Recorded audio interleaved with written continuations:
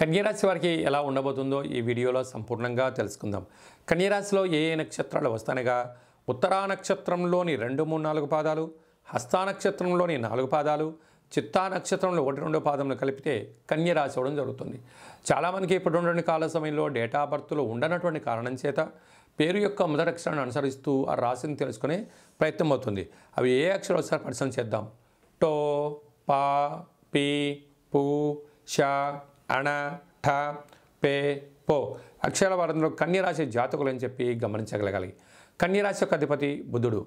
ఈ యొక్క రెండు వేల ఇరవై రెండవ సంవత్సరము ఆంగ్లనామ సంవత్సరం మరియు తెలుగు సంవత్సరం అంతలో కూడా ఆదాయ వ్యయాన్ని మనం ఒకసారి పరిశీలన చేస్తే పదకొండు రూపాయలు సంపాదిస్తే వ్యయం ఐదు రూపాయలు.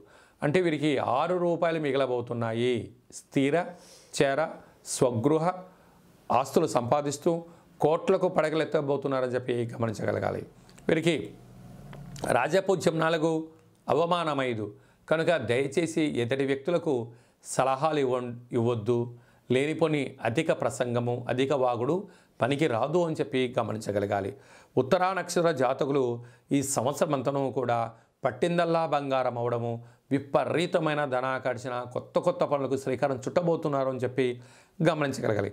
హస్తానక్షత్ర జాతకులకు అంటే ఏప్రిల్ నెల నుండి ఆగస్టు నెల వరకు మాత్రమే బాగుంది. ఆగస్టు నుంచి ఉగాది పండగ వరకు మధ్య సున్నా చివరి సున్నా ఉండడం వలన మనోవేదన హాని కలిగే అవకాశాలున్నాయి. తస్మా జాగ్రత్త.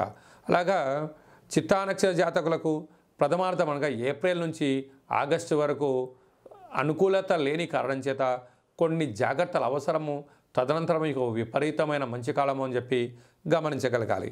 అలా కన్యరాశి వారి అందరికీ కూడా పంచమ స్థానంలో శని సంచార స్థితి ఉండడం వలన దూర వాయు జల ప్రయాణాల్లో ఇబ్బందులు శ్రమకు తగిన ఫలితం లేకపోవడం మనసు చంచల స్వభావంగా ఉండడం వివాహమైనటువంటి దంపతులకు పుత్రాపుత్రిక సంతానం కలగబోతుందని ఆనందంలో గడపడం జరుగుతూ ఉంటుంది.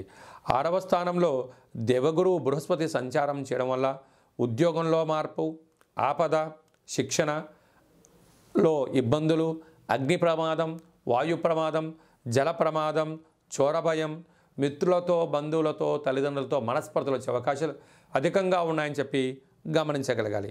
అలాగనే పదమూడు నాలుగు రెండు వేల ఇరవై రెండవ సంవత్సరంలో సప్తమంలోకి ఏడవ స్థానంలోకి దేవగురు బృహస్పతి మరణం వల్ల కార్యసిద్ధి శారీరక సౌఖ్యము అధికార యోగము సంపూర్ణ ఆయుష్ ఆనందంతో ఉల్లాసంగా జీవితాన్ని గడుపుతారని చెప్పి గమనించగలగాలి. ఇరవై తొమ్మిదవ తారీఖు ఏప్రిల్ నెల రెండు వేల ఇరవై ఏడు ఇరవై రెండు నుంచి పన్నెండు ఏడు రెండు వేల ఇరవై రెండు వరకు ఆరవ స్థానంలోకి శని సంచార స్థితి ఉండడం వలన ఆదాయం తగ్గడం గృహ నిర్మాణ కార్యక్రమాల్లో ఆటంకాలు ఉండడం దూరవాయు జల ప్రయాణంలో ఆటంకాలు ఉండడం జరుగుతుంటుంది మనం ఓవరాల్గా చూసుకున్నట్లయితే సంపూర్ణంగా ఈ సంవత్సరాంతము నాలుగు ఎనిమిది పదమూడు పదిహేడు ఇరవై రెండు ఇరవై ఆరు ముప్పై ఒక తారీఖులు పూర్ణిమ అమావాస్య తిథులు ఎందు మంగళ శనివారాలు ఎందు వీరి జన్మ నక్షత్రం ఎందు రోజున దూరవాయు జల ప్రయాణాలు ముఖ్యమైన సభలు సమావేశాలు వాయిదా వేసుకోవడం మంచిదని చెప్పి గమనించగలగాలి.